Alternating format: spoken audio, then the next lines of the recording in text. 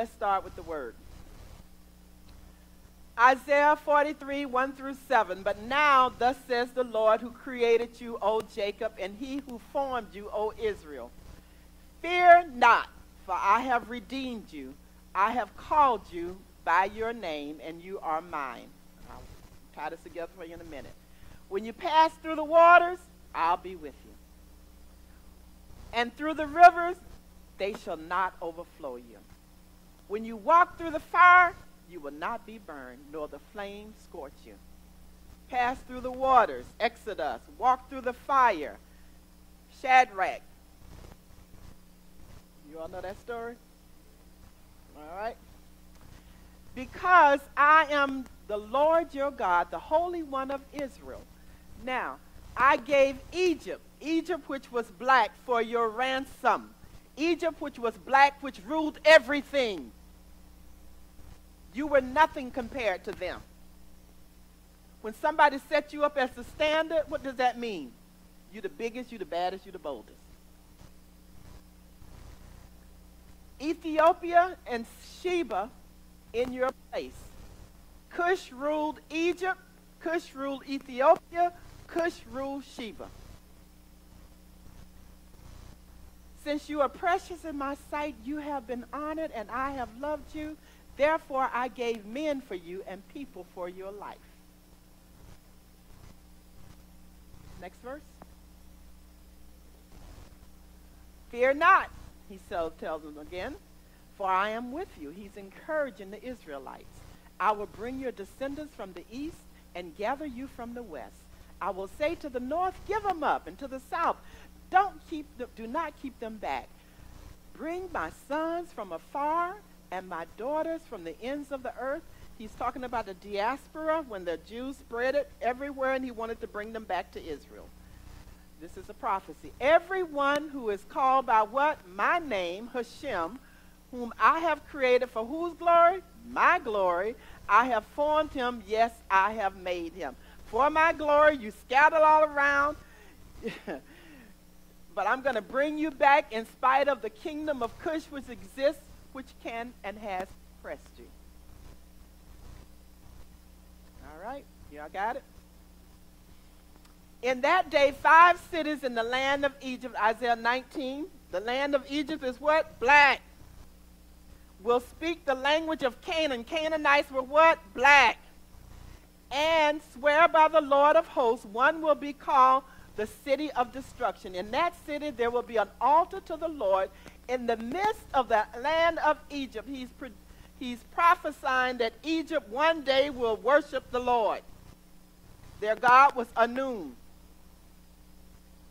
And a pillar to the Lord at its border.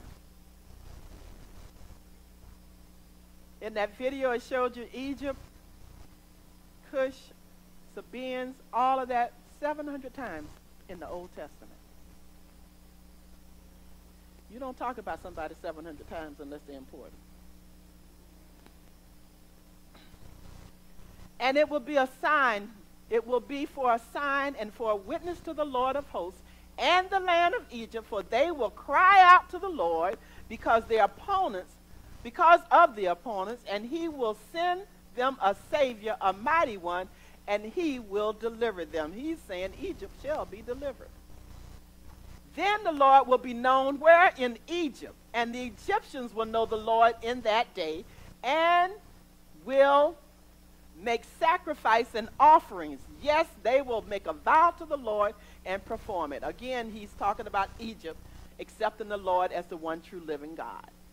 And the Lord will strike Egypt, and he will strike the and heal it. They will return to the Lord, and he will be entreated by them and heal them. In that day there will be a highway from Egypt to Assyria, and the Assyrians will come into Egypt, and the Egyptians into Assyria, and the Egyptians will serve the Assyrians. He's prophesying that the Assyrians will go in and invade Egypt, which they did.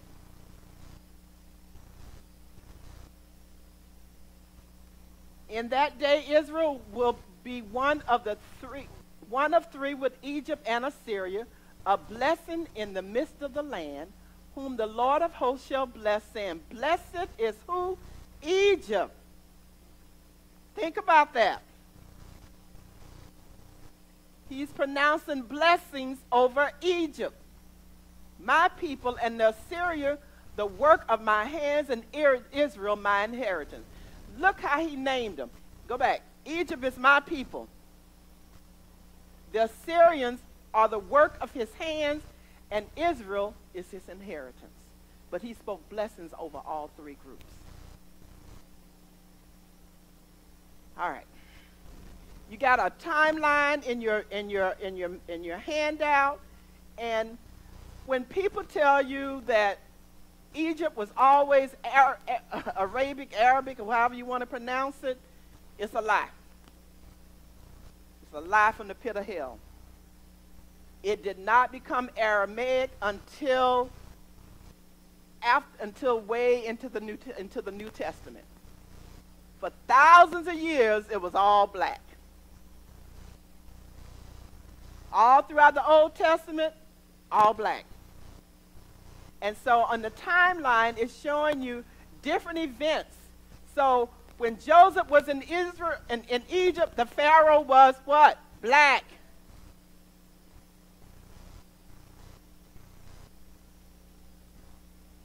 When Moses was in Egypt, the Pharaoh was what?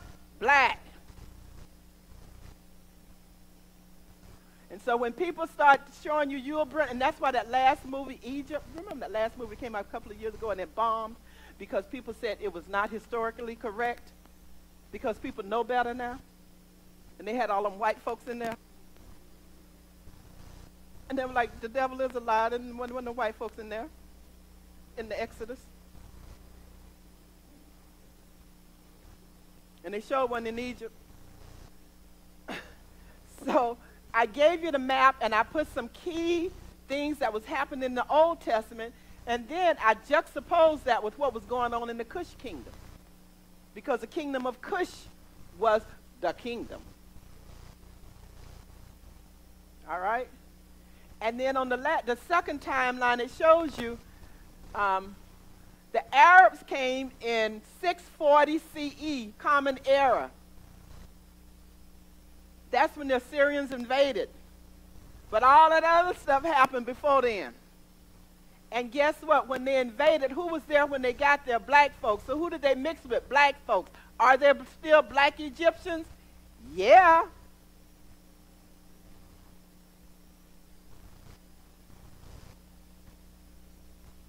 Let's go on. Then I gave you this map because you need to have this map. The kingdom of Cush was so big.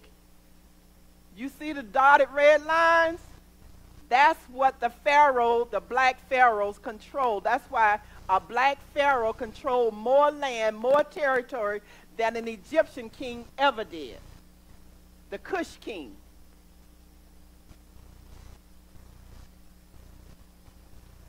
I had a, a, a, a classmate in college named Cush.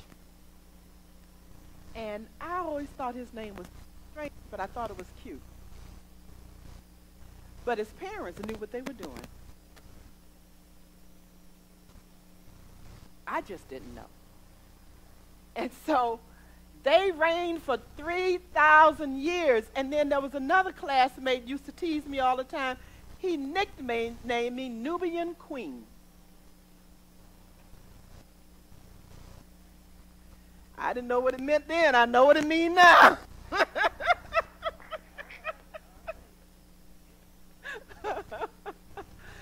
they had three capitals. The capitals were Kerma, Napata, and Meroe.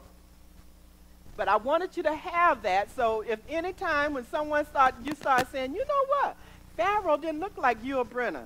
And they say, shut your mouth. You don't know what you're talking about.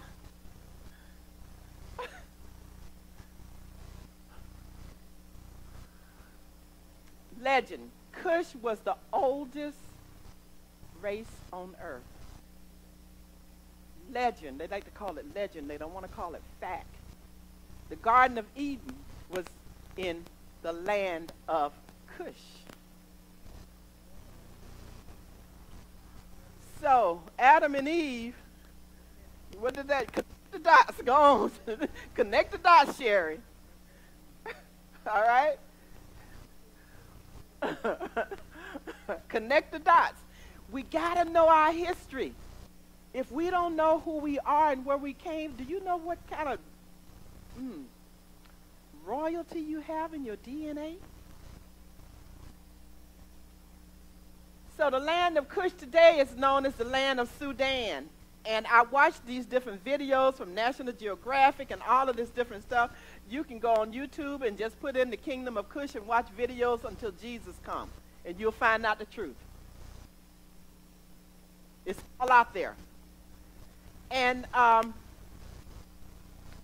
the land, the, the, the land of Cush, how do I want to say this? No, let's go. So I already did this. It's been in there 700 times. When you see in the Bible, you see Cush, you see the word Egypt, you see Ethiopia, you see Sheba, you see the Sabaeans. That whole map tells you that was all Cush. All right? Let's keep going. All descendants, I told you all this last year, all descendants of Ham were black people. The Cushites, the Egyptians, the people from Put, the, the Canaanites, they were all black people. And they called that, some call the region Nubian. Okay? Those are different names of all the black people. So when you read in your Bible and you see the word Cush, and you see the word Egyptians or Ethiopians or Sabaeans, Sabaeans were the queen of Sheba, queen of Sheba. All right? Let's go. Now, Cush, Egypt's at the top, and Cush was the southern neighbor of, of Egypt. And they were in constant war with each other. At one point, Egypt ruled Cush. Another point, Cush ruled Egypt the map that you have show that when Cush ruled Egypt, it just didn't rule Egypt. It went even across the river. See how it went across the river at the top? So black, there were black pharaohs. No, anytime you see pharaoh in the Old Testament, you know the person was black. Okay? Let's keep going.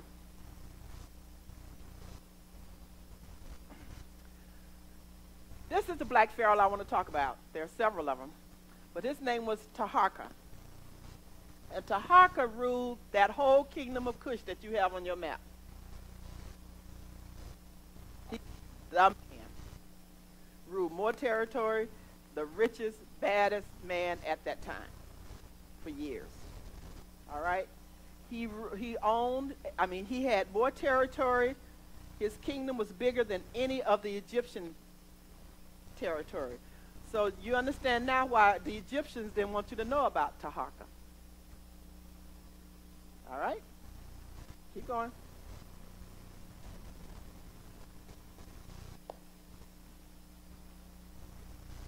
The Cush kingdom set the standard for everybody. For Sudan, for Egypt, for Sheba, all the way over to China, Israel, and Assyria. They had global, international influence when they ruled, ran everything. All right?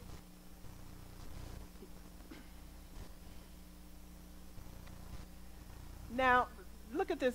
This is an artist rendition of what a black pharaoh would have looked like. And this is a, another artist rendition of um, someone giving homage to a black pharaoh. And I just wanted you to see that. But when we get to, but his nose is negroid, right?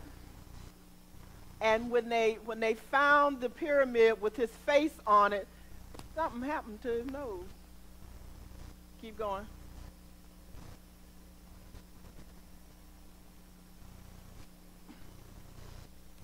Egyptian culture and Cush culture were so intertwined, and they were in, in, in, intertwined um, because they were right next to each other.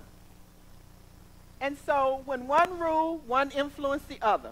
When the other one ruled, they influenced the other. So their, their, their, their cultures were, here's the, the picture of him with the nose half his nose missing. but their cultures were so intertwined. The Nubian culture, you, it, you could call it Kush culture, you could call it Egyptian culture, just depending on the time period you were talking about. All right? Let's keep going. Ah, the video part is still in there. Yeah, that's what it's doing.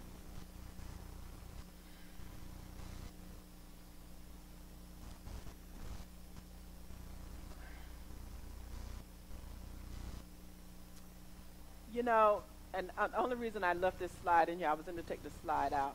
You see the queen? Does she look Negroid? They did that so much to us. Because in their mind, black people couldn't accomplish and build a civilization and an empire that big, that awesome. We were incapable because they portrayed us in Africa as being barbaric, cannibals, stupid, and only good for nothing but slavery. I, and I, I had to search to find Negroid renditions, I mean, art, renditions of what black people would have looked like during that time. Because they wanted to make us look more like, keep going. So, this is back to what I told you all last month. Don't believe everything you see on TV.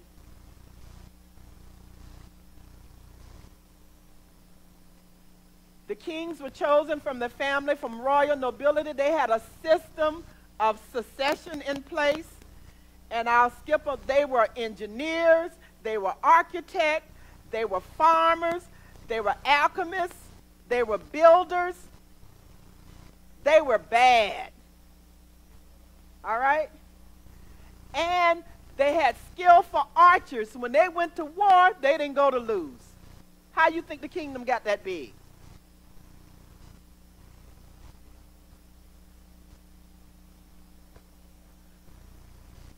And I'm doing it through pictures because I want you to start seeing what was lost, seeing what was stolen, seeing what was buried.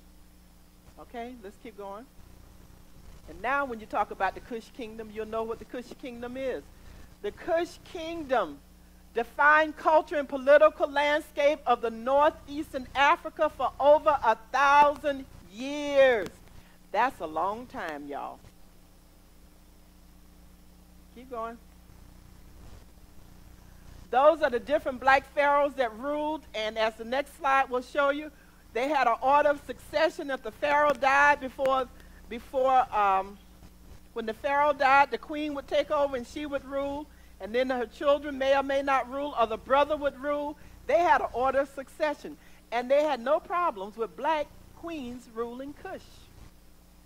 And next week we'll talk about the Candaces of Kush and they were black queens named Candace, just like the kings were called pharaohs. Some bad mama. And when when when uh, Kendall was saying she went to war, she went to battle, one of the queens led her troops into battle. One of the Candace queens, when Rome was invading and they came down and they wanted to invade their territories, they ran up against Candace and ran home. Sister was bad. All right? And we'll talk about that next week. They built an the largest empire that's ever existed in the world. Keep going.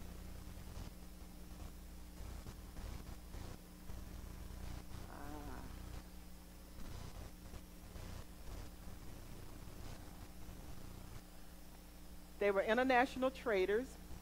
They learned diplomacy at a very early age. And um, I'll send you the video that, I was, that was shown so you can look at the video at your own leisure. I'll just send it out through email. Um, they were international traders, and they traded uh, skins, ivory. They were miners, okay? They mined gold. They mined, they mined iron. And with the iron, the weapons and the bow and the, the um, arrows that they built and the weaponry that they built was the best in the land. And so they sold weaponry to the other countries. All right? I just know it all, and the slides are slower than my brain is right now. Keep going. but they learned one thing, too. They learned that the best way to rule was through diplomacy, not trying to kill everybody and rule and reign over anybody. Hey, come be a part of our kingdom and let's work together. And when they went and they, they, they started, right now they're digging in Sudan and they're, they're, they're bringing up artifacts that in these tombs from all over the world. All over the world at that time. And that's, when, that's how they discovered how wide their trade route was. They were, they were finding things from China and India and Africa. All right? Keep going. So, one interesting thing happened when the first archaeologist, and his name was Reisner, I think I can't remember if he was German or English, British, or whichever one he was, and he went over and he went into Sudan and he found the first tomb and of course, they did what they always do. They raided the tombs and took all of the valuables out of the tombs, right? So he raided the tomb, he took all of the valuables out of the tomb, and he took it back to Europe, and he started telling them about this, these finds that he was finding all this stuff down in Sudan below Egypt, and all of the archaeologists and the educators and the scholars said that's impossible because only intelligent people were in Egypt. And they said, These are fake, your findings are fake, you're alive from the pit of hell, we don't believe you. And he didn't get half the money he thought he was going to get from his artifacts. Okay? Keep going. Because when you believe one thing for so long, and somebody come and tell you something different, do you believe them on first pass? Hmm. They were intelligent. They developed their own language and their own script, cursive script. Isn't that interesting that they developed a cursive script and our children can't write in cursive now?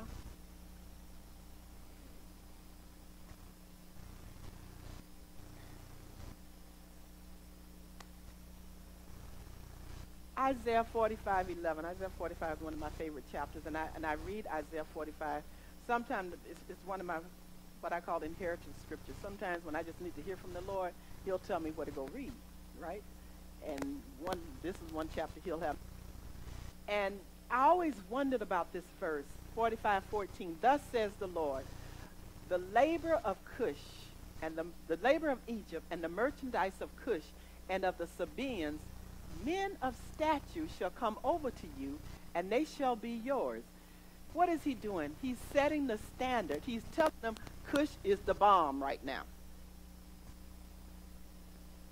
But they shall come over to you, and they shall be yours.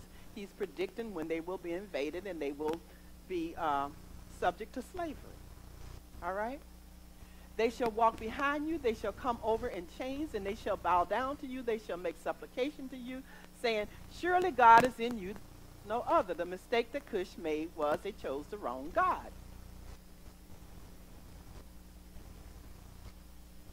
So, the myth that has been perpetuated for thousands of years that's just being uncovered, and now I know why God had me study this out, was that black Africans could not have built a powerful civilization like Kush.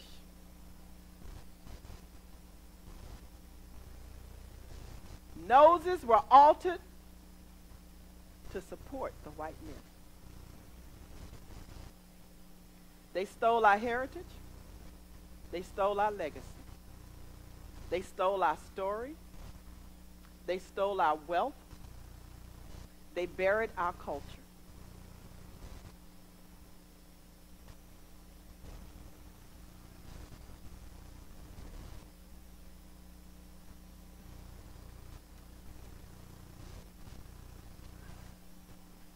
Keep going. Go down to the last slide. Can you can we take me to the to the last slide? Oh, I already told you all this part anyway. How they all, they all conspired to erase our history. The problem is now. Remember, and God is just tying this thing together. Remember when I told you once the internet happened and social media happened, they could no longer control the flow of information. Now it's out there on YouTube.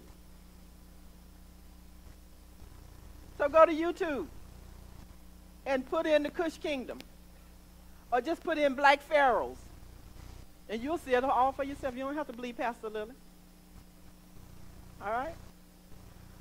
But they wanted us to believe that our legacy has always been slavery. We were slaves to the Israelites. We were slaves to the Egyptians. We were slaves to the Assyrians. We were slaves to the Germans. We were slaves to the British. We were slaves to the Americans. I know who I am. I am royalty, destined to possess the land.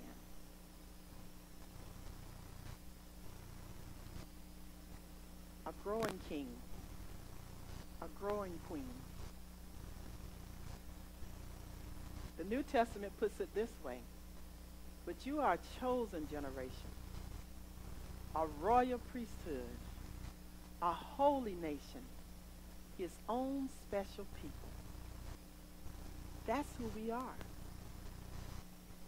Why do you think we preach to the children all the time? I am a chosen generation. We want them to know who they are. And our kids don't have any reason to rhyme or to walk around with their head down because of the color of their skin. None of us do. If anything, we need to learn, go back to the 70s and say it loud.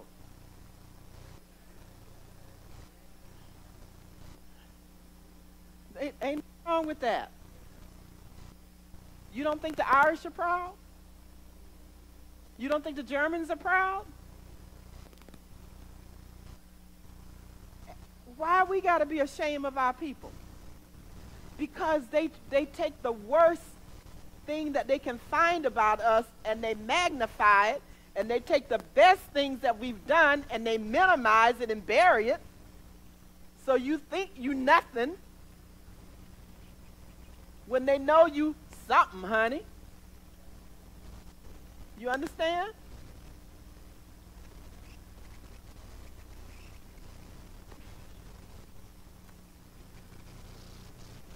We are a chosen people.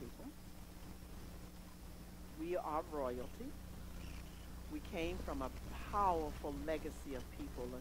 As I was studying this out, the thing that kept rising in my spirit was, man, there's some bad stuff in my DNA that I didn't even know about. Can you, I mean, do you understand? Just like when the choir was up there in, the, in, in these stoves, what did they look like? royalty. Did you see it?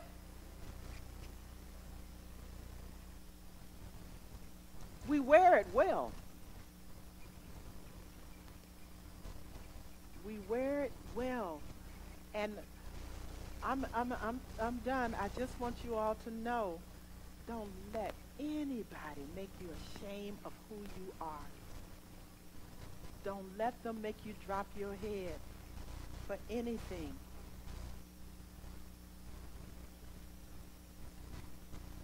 God created all of us. God did not curse black people. That's a lie they told. I just showed you the scripture where it said he blessed us. Take them back to Isaiah and say, oh no, baby, here it is right here. Egyptians, that's me. That's my peeps. They're my peeps right there. They're my peeps, the Egyptians. He blessed us just like he did the Assyrians and the Israelites they have misinterpreted and misused the Bible to beat us down for so long. But the Bible is our book and our history. That's what the Old Testament is. But it's how you use it. Amen. This is the word of the Lord.